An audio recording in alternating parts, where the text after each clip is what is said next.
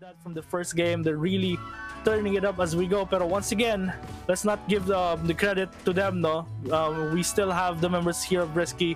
Meron sila dito mga rifles to work with and letting natin kung makakalaban pa sila this game. Nilipos pa rin tayo mga kaibigan.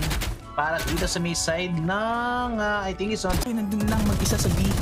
And let's see if they're gonna capitalize on their picks and to their utils as nagkakabaliwan lang sila dito and Oh, yeah, doing a lot of art. They only have Spectres and they're gonna be against 5 rifles for this round.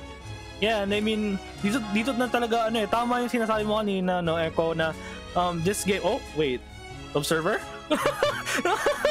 uh, Sky? I mean, makes sense by now. Should have learned, no? Dun sa nangyari ng map to, no? Uh, by now, they should have made... And yeah, I mean, um, hello, Observer? That's kind of sus. Maybe they're trying to get information. They're trying to see if anyone peeks out early. Maybe get a pick. Rain a little bit so in terms of ano na dito, pag makikipag-duel si Dark Cassie, Saying hi to Kato si Pao. Players like this, oh, what is even happening? This spawn, hello? May ritual ba dito?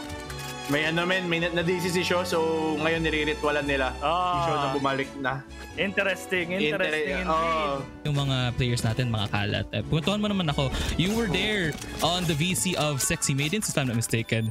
Um, I what happens when they win? Yeah, what, Okay. what happens? Mr. Shampa. but let's see, I we do have definitely here. Oh, Christy's just out in the corner for Vincent. Oh, the shot! Win! What? Christy! Oh, they're whipping! Oh, my, my, my. In one, small cattle with a trade, and now to 2v2. Odds haven't even out. Smokes are in place, but the deal is still on fire. Getting one trade off, 1v1. The shaky, shaky cam is there instead. With, and ngayon, Cutify, the only person that can possibly stop a lot of members here down getting the kill. Pero, oh, yo, wait! Yeah, they're really accustomed to Fate's um, And then naman, recon darts. Okay, those aggressive Mickey push. Fish pushing in backside as well. This up. Wait lang, kakampi mo yan. Sa kakampi mo yan. Pauka Dots going down as well and it's all up to Piauya to try and get that despite I want to beat that bear. But Shade with that guard to make it work.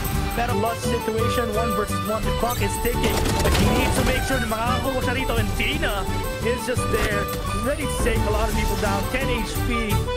And then, Tuloy-tuloy na nga tayo dito. The onslaught of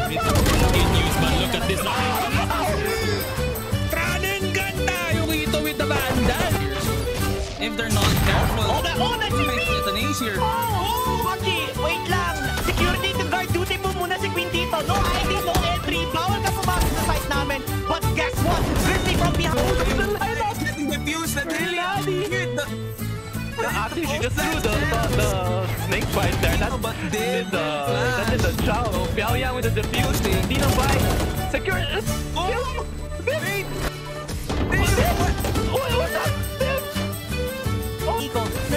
Nananalo R, will he crumble to the pressure? That is E-Buddies. Oh my God, wait!